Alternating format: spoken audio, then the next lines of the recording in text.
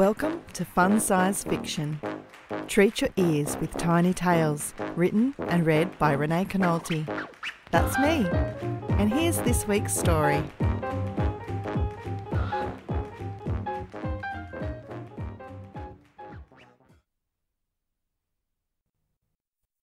No business. Thank you for your application, but unfortunately you were unsuccessful. Kayleen archived the email, a memento of yet another place that didn't want her skills. She'd agreed to make compromises, that she'd support her husband's change of career, but she didn't realise she'd end up alone and unemployed in a city where she knew nobody. This latest application had been two levels below the job she'd left, but her resume gave it all away. Why did you leave your last job? Then came the knowing looks.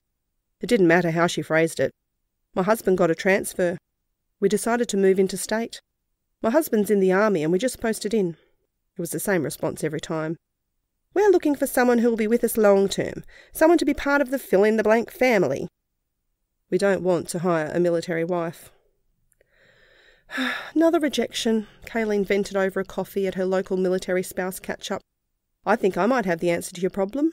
Are you looking for full time or part time work? Julie said. I'll take just about anything at this point. Going stir crazy at home with nothing to do all day.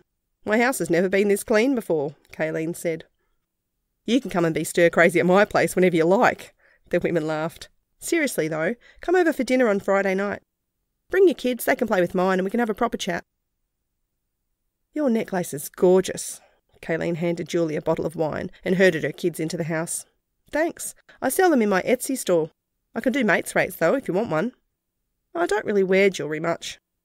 Julie poured two glasses of wine, and they settled in the lounge room while the children tore off up to the other end of the house. Kayleen filled the awkward silence. Is that a wax melt thingy? Smells divine. It is, Julie smiled.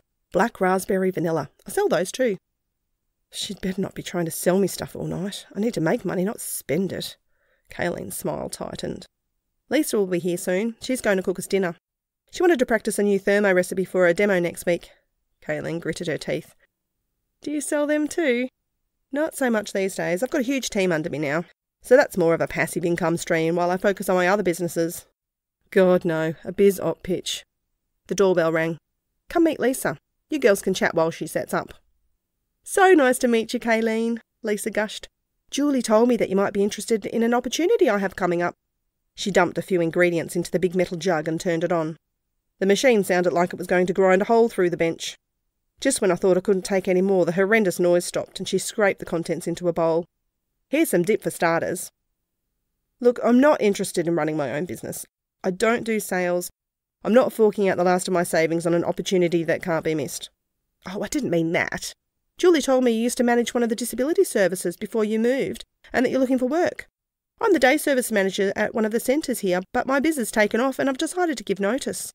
The service manager loves military spouses, so if you're interested, I can introduce you. Would you? That sounds perfect. She's hosting a Thermi party for me tomorrow night. You should come.